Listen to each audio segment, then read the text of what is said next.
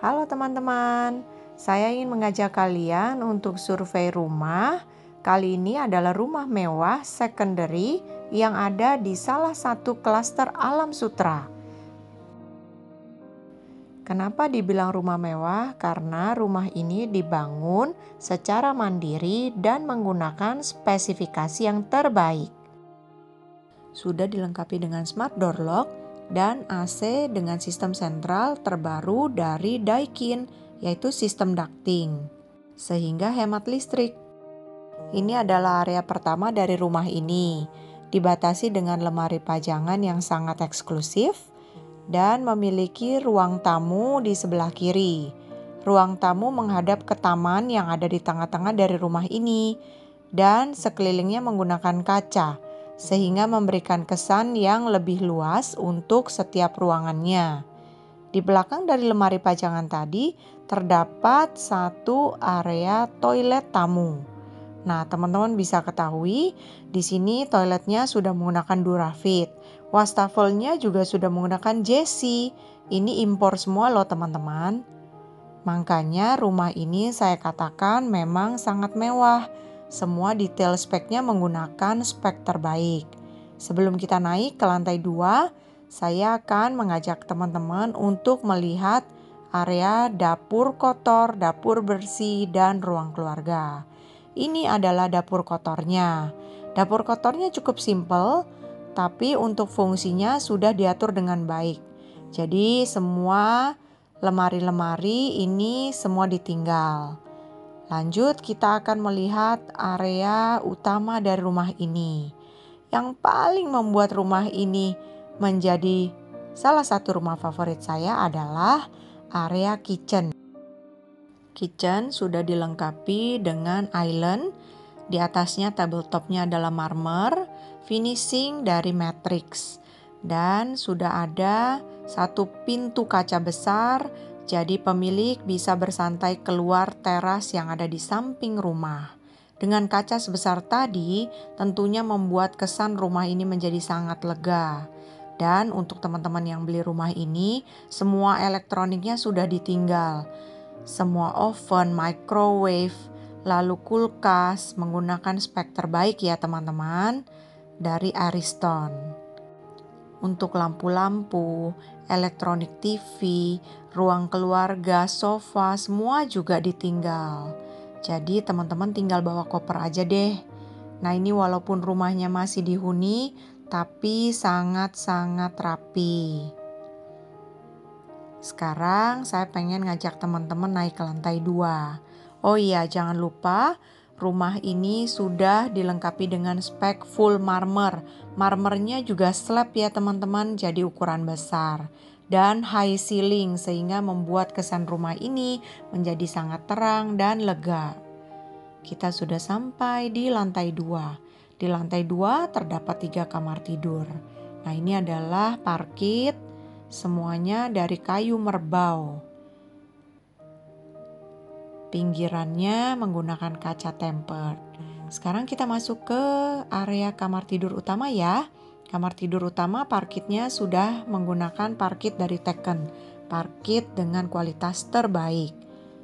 Buat teman-teman yang pengen lihat wardrobe-nya, ini dia.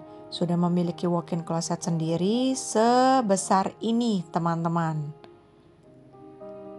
Sangat lega ya.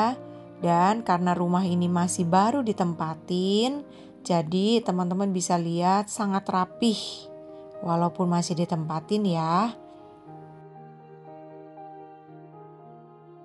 Sekarang kita lanjut intip ke kamar mandi utama. Seperti teman-teman bisa lihat kesannya sangat mewah. Juga finishingnya benar-benar full marmer. Seluruh dindingnya dan bagian atas dari plafon sudah dilengkapi dengan pencahayaan yang baik, sehingga siang hari kita tidak perlu menyalakan lampu.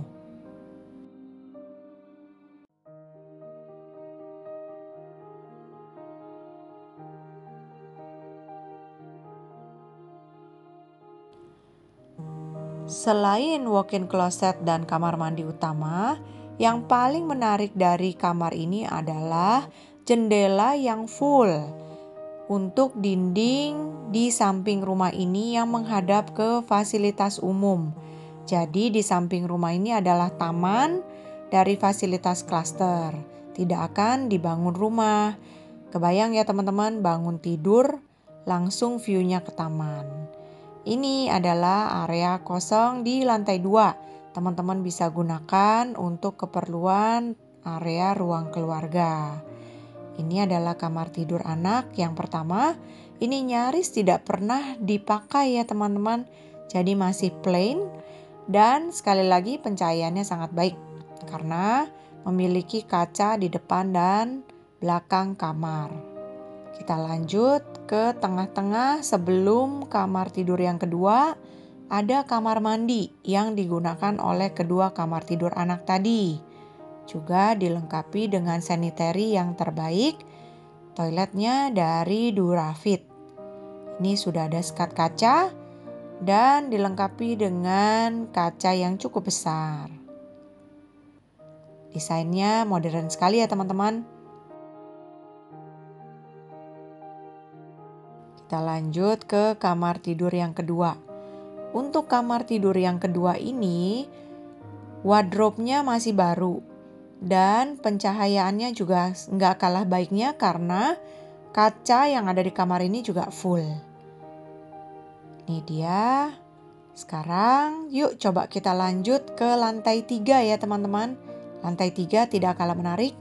Nih di atasnya sudah dilengkapi tuh dengan pencahayaan yang sangat baik karena plafonnya bukan cor-coran langsung yang padat tapi menggunakan gelas yang clear.